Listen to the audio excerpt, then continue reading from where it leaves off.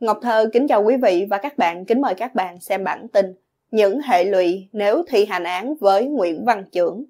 Ngày 7 tháng 8, một tờ báo quốc tế tiếng Việt có bài bình luận về việc thi hành án tử hình đối với Nguyễn Văn Chưởng của tác giả Diễm Thi. Ngày 12 tháng 6 năm 2008, trong phiên sơ thẩm, Tòa án Hải Phòng đã tuyên Nguyễn Văn Chưởng tử hình về tội giết người dựa vào lời nhận tội của ông trưởng trong quá trình điều tra. Hình ảnh bài bình luận trên AFA.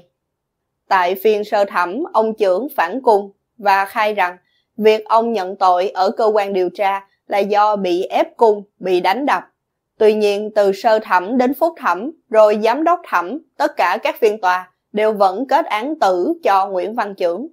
Bài báo dẫn lời luật sư Lê Văn Hòa, người hỗ trợ pháp lý cho ông Nguyễn Trường Chinh, kêu oan cho con là tử tù Nguyễn Văn Trưởng, nói rằng nếu vẫn thi hành án tử hình đối với Nguyễn Văn Chưởng, đầu tiên là mất mát của tử tù Nguyễn Văn Chưởng.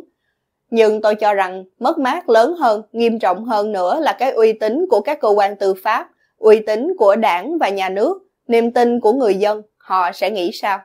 Bài báo cho biết luật sư Lê Văn Hòa là nguyên tổ trưởng kiểm tra án oan của Ban Nội chính Trung ương, trong đó có vụ án Nguyễn Văn Chưởng.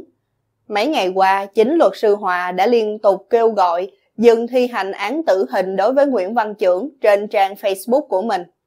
Ông hy vọng và có niềm tin nội tâm là Chủ tịch nước Võ Văn Thưởng sẽ có chỉ đạo để chánh án Tòa án Nhân dân thành phố Hải Phòng tạm dừng việc thi hành án đối với tử tù Nguyễn Văn Chưởng.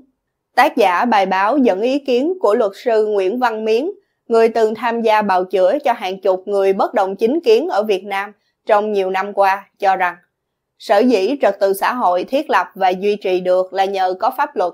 Ông dẫn câu cách ngôn nổi tiếng của các luật gia La Mã xưa.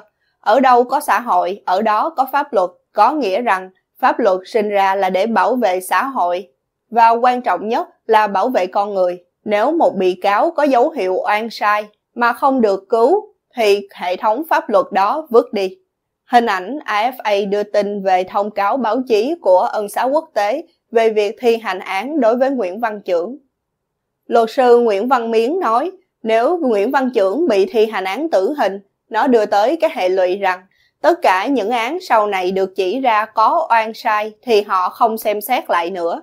Và như thế thì rất nguy hiểm cho những bị cáo tình ngay lý gian. Họ không thể biện hộ và xã hội cũng không thể bảo vệ họ khi có những vị đại diện pháp luật chỉ vị pháp luật mà không vị con người.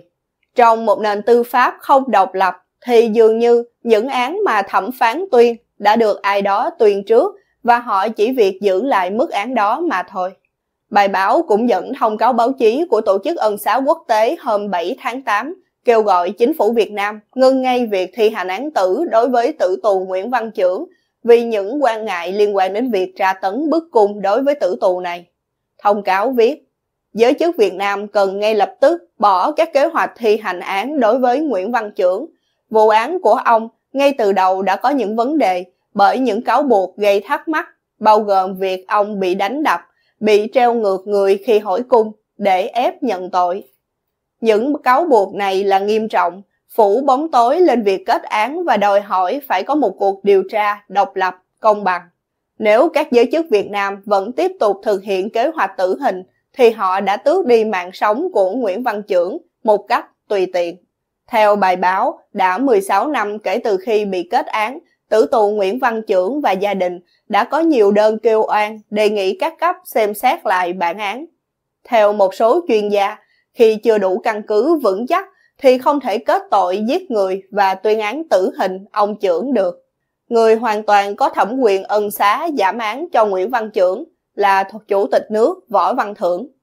Quý vị và các bạn vừa theo dõi chương trình cập nhật tin tức của Ngọc Thơ thời báo chấm D với bản tin Những hệ lụy nếu thi hành án với Nguyễn Văn trưởng Tư duy của nền tư pháp Việt Nam vượt ra khỏi mọi sự hiểu biết, lương tri và lẽ thường.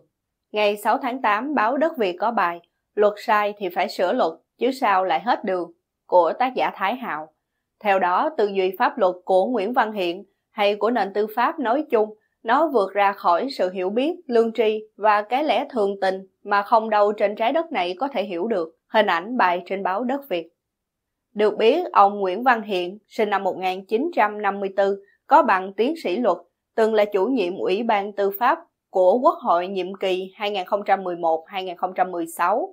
Ông cũng từng là chánh án Tòa án Nhân dân tối cao từ năm 2002 đến 2007. Vào tháng 3 năm 2015, phát biểu về vụ án Nguyễn Văn Chưởng, ông hiện khẳng định vụ án Nguyễn Văn Chưởng có phát hiện sai sót thì cũng đã hết đường kháng nghị, bởi ông cho rằng vụ án này đã có quyết định của Hội đồng Thẩm phán Tòa án Nhân dân tối cao, đã là quyết định cuối cùng, nên vợ có thấy sai thì cũng không thể kháng nghị. Phát biểu này được ông Hiện nêu ra trong phiên họp đoàn giám sát của Ủy ban Thường vụ Quốc hội về tình hình oan sai trong việc áp dụng pháp luật hình sự, tố tụng hình sự.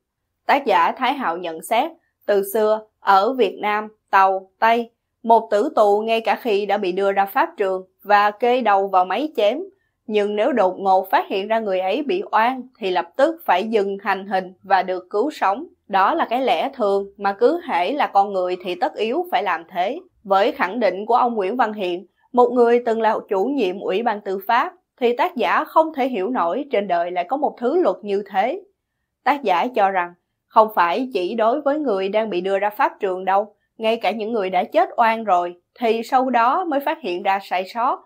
Những triều đại sau, chính quyền sau vẫn sẽ chuộc lỗi mà thực hiện sự minh oan cho họ kia mà. Tác giả nhắc lại vụ án oan Lệ Chi Viên với cái chết đầy oan ức của Nguyễn Trãi cùng với việc tru di tam tộc nhưng sau đó được vua Lê Thánh Tông chiêu tuyết.